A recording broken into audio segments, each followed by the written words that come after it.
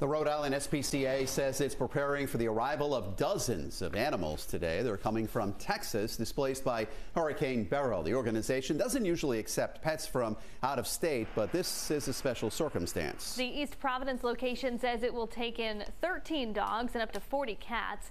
The animals are expected to be up for adoption by the end of the month.